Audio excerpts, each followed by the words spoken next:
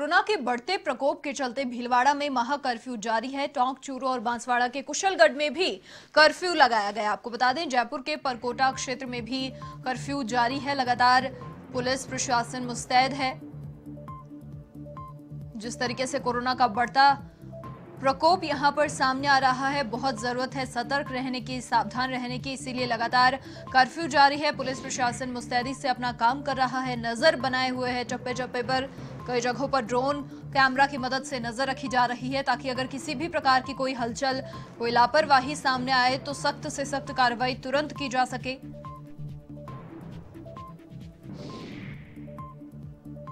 टोंक चूरू और बांसवाड़ा के कुशलगढ़ में भी कर्फ्यू जारी है, जयपुर के परकोटा क्षेत्र में भी कर्फ्यू जारी है। भीलवाड़ा में महा कर्फ्यू जारी है, क्योंकि लगातार ये आंकड़े हर जगह से सामने आ रहे हैं, बढ़ते हुए आंकड़े इनको ध्यान में रखते हुए बहुत ज़रूरत है। पुलिस प्रशासन भी लगातार मुस्तैद है चप्पे चप्पे पर नज़र बनाए हुए है। ड्रोन कैमरा की मदद से नज़र रखी जा रही है ताकि किसी भी प्रकार की कोई हलचल, कोई लापरवाही, कोई भी गतिविधि सामने आए तो तुरंत कार्रवाई की जा सके ताकि किसी भी अनहोनी को होने से टाला जा सके। लगातार प्रयासरत पुलिस प्रशासन भी है। चप्पे चप्पे पर नज़र बनाए हुए है। हर एक गतिविधि पर पैनी नज़र यहाँ पर प्रशासन की। ड्रोन कैमरा की मदद से हर जगह नज़र रखी जा रही है। और इसी खबर पर अधिक अपडेट के लिए भीलवाड़ा से हमारे संवाददाता योगेश शर्मा फ़ोन लाइन पर जुड़ चुके हैं। जी योगेश, देखिए, भीलवाड़ा में महा कर्फ्यू जारी है। किस प्रकार से स्थिति को नियंत्रित किया हुआ है? भीलवाड़ा में आज महा कर्फ्यू का सातवां दिन है और कर्फ्यू का बीसवा दिन है। जी। बीस दिन से बिल्कुल यहाँ कर्फ्यू शांतिपूर्ण से है और लोग बाग अपने घरों में बंद है। पुलिस बार बार ये अपील कर रही है कि अपने घरों में रहें और संक्रमण कोरोना संक्रमण चैन को तोड़ें। पुलिस की इस अपील का लोगों ने पालना की और सब अपने घरों में यहाँ तक कि कोलानी और शहर की मुख्य रोड को बैरिकेड से बंद कर रखें और जो खाद्य सामग्री का वितरण है आवश्यक चीज़ें हैं जैसे दूध है। दवाइयाँ हैं होम डिलीवरी की व्यवस्था है और घर घरों में पहुँच रही है खाद्य सामग्री। यूआईटी द्वारा गरीबों को निर्धनों की व्यवस्था की जा रही है उनको लगातार नियमित रूप से बांटा जा रहा है और जब मुख्य मुख्य पशुओं की बात करें। तो अब यूआईटी की तरफ़ से स्वयंसेवी संस्थाओं की तरफ़ से पुलिस की व्यवस्था चारे की व्यवस्था कर रखी है उन्होंने गाड़ियाँ लगा लगा के हर मोहल्ले में जहाँ जहाँ हरे चारे की व्यवस्था की जा रही है। मनीषा। जी, बिल्कुल, योगेश, तमाम जानकारी के लिए आपका शुक्रिया। आपको बता दें, भीलवाड़ा में भी लगातार महा कर्फ्यू जारी है। तमाम सुविधाएँ भी लोगों को पहुंचाई जा रही हैं। राहत सामग्री का वितरण घर घर जाकर लोगों को दिया जा रहा है ताकि कोई लापरवाही ना सामने आए, लोग बाहर आने को मजबूर ना हो। जयपुर के परकोटा क्षेत्र में भी कर्फ्यू जारी है। लगातार नज़र पुलिस प्रशासन बनाए हुए है। चप्पे चप्पे पर पुलिस बल तैनात है। ड्रोन कैमरा की मदद से नज़र रखी जा रही है। ताकि कहीं कोई हलचल हो तो तुरंत उसका पता चले और तुरंत कार्रवाई की जा सके। क्योंकि जिस प्रकार से आंकड़ा लगातार बढ़ता जा रहा है, सावधान रहने की बहुत ज़्यादा ज़रूरत है, सतर्क रहने की बहुत ज़्यादा ज़रूरत है। इसलिए परकोटा क्षेत्र में कर्फ्यू लगातार जारी है।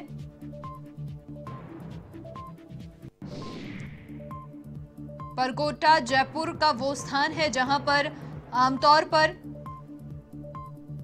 वाहन हमेशा चलते रहे हैं। वाहनों के पहिए उस जगह कभी नहीं रुके, लेकिन कर्फ्यू फ़िलहाल परकोटा क्षेत्र में भी लगाया गया है। लोगों की आवाजाही बिल्कुल बंद है, चाहे वो मीडिया कर्मी हो। और साथ ही लोगों को कोई असुविधा ना हो, इसके लिए राहत सामग्री घर घर तक पहुंचाई जा रही है। तमाम सुविधाएँ लोगों को मुहैया करवाई जा रही हैं।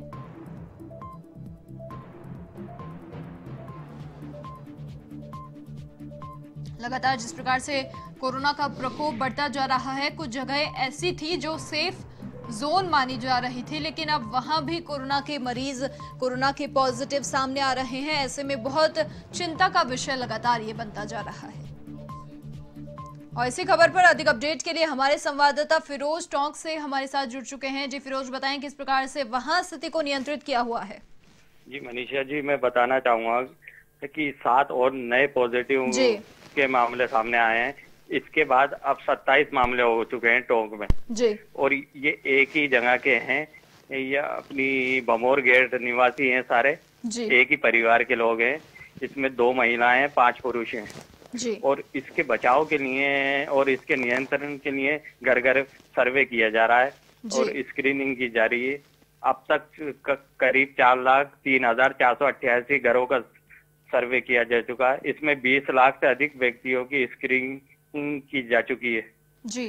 कलेक्टर के के शर्मा ने बताया कि अभी तक सब और ये जो आज मुस्लिम त्योहार है शब बारात जी। इसको भी लेकर अपील की जा रही है कि लोग अपने घरों पे ही इबादत करें और नमाज़ पढ़ें और कब्रस्तानों में बिल्कुल ना जाएँ घरों से ना निकलें।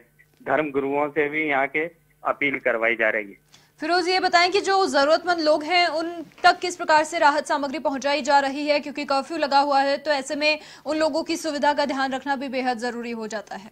जी मनीषा जी मैं बताना चाहूँगा कि बिल्कुल के के शर्मा ने टोंक जिला कलेक्टर ने सबके लिए होम डिलीवरी की सुविधा उपलब्ध करा रखी है। घर घर जाकर लोगों को सामान पहुँचाया जा रहा है।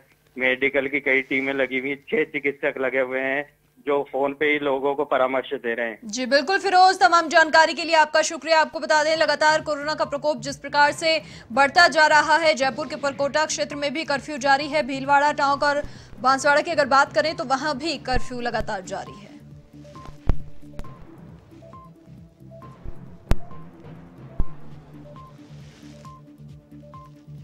लगातार दिनों दिन कोरोना का प्रकोप बढ़ता जा रहा है। ऐसे में तमाम उन लोगों की सुविधा का भी ध्यान रखा जा रहा है जो जरूरतमंद है, क्योंकि कर्फ्यू लगाए हुए हैं तो ऐसे में बहुत ज़रूरी हो जाता है उन लोगों तक राहत सामग्री का पहुंचाना। होम डिलीवरी की सुविधा लोगों को दी जा रही है, जिनको ज़रूरत है, जो जरूरतमंद लोग हैं, उन तक राहत सामग्री, राशन सामग्री पहुंचाई जा रही है घर घर ताकि कर्फ्यू के चलते जिस प्रकार से लोगों की आवाजाही पूरी तरीके से बंद है तो ऐसे में कोई समस्या लोगों को ना हो, किसी प्रकार की दिक्कत का सामना उन्हें ना करना पड़े, इसका भी लगातार ध्यान रखा जा रहा है। और इसी खबर पर अधिक अपडेट के लिए हमारे संवाददाता राजेश सोनी बांसवाड़ा से फ़ोन लाइन पर जुड़ चुके हैं। जी राजेश, बताएँ, क्या हालात हैं वहाँ पर?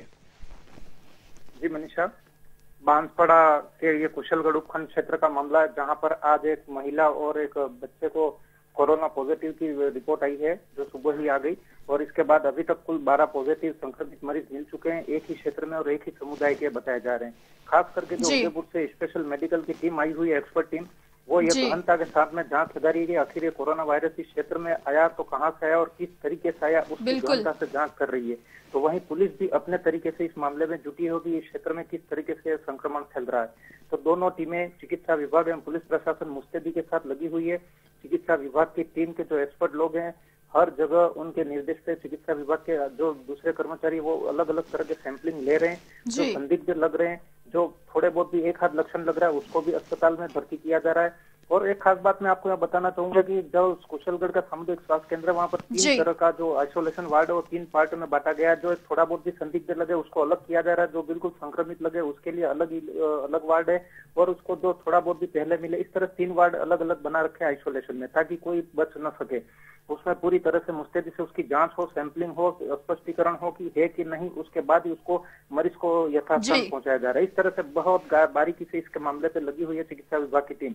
और वहाँ पुलिस की जो बात की जाए तो वहाँ पर पुलिस जो है करीब तैंतीस पॉइंट बनाए हुए कुशलगढ़ उपखंड क्षेत्र में, जो गुजरात और मध्य प्रदेश की सरहद से बसा हुआ उपखंड क्षेत्र है। तो उसके चलते 910 पुलिस कर्मी चप्पे चप्पे पे तैनात है रात दिन चौकसी की जा रही है, जिसमें एक एडिशनल एसपी है तीन डीएसपी हैं तीन सीआई हैं उसके साथ बड़ा जाता है जो कस्बे में सब जगह घूम रहे हैं। और प्रशासनिक की एक खास बात ये बताऊँ कि उन्होंने इतनी शानदार व्यवस्था की है कि कुछ लोगों को चिन्हित किए हैं समाज के। जो। घर घर जा करके जो ज़रूरत की वस्तु है वहाँ घर पे जाके होम डिलीवरी कर रहे हैं और जो परिवार है उसका मात्र एक ही सदस्य आधा दरवाज़ा खोल के बाहर खड़ा रहेगा और जो मांगेगा वो चीज़ उनको नीचे दे करके दी जा रही है और सतर्कता से उनको सुरक्षा व्यवस्था दी जा रही है। तो उसके चलते यहाँ कोरोना का जो प्रॉब्लम चल रही है संक्रमण फैलने का आशंका है उसको पूरी मुस्तैदी से रोकने के पूरे प्रशासन व्यवस्था में लगे हाल ही कल मैं आपको बताऊँ वहाँ पर जो है संभागीय आयुक्त तो विकास भले जी आए थे एसपी कलेक्टर आईजी एडीजी सभी लोग वहाँ पर दौरा कर चुके हैं और सभी व्यवस्थाओं का जायजा ले चुके हैं। और वहाँ जो जनप्रतिनिधि वो पिछले नज़र बनाए हुए इसलिए अभी वहाँ माहौल पूरी तरह अच्छा है शांत है चिकित्सा विभाग की टीम मुस्तैदी से जाँच में जुटी हुई है स्क्रीनिंग कर रही है। बिल्कुल राजेश तमाम जानकारी के लिए आपका शुक्रिया। आपको बता दें लगातार प्रयासरत पुलिस प्रशासन भी है राज्य सरकार भी है और जरूरतमंद लोगों की मदद के लिए भामाशाह भी आगे आ रहे हैं जो बहुत ज़रूरी ऐसे टाइम में हो जाता है।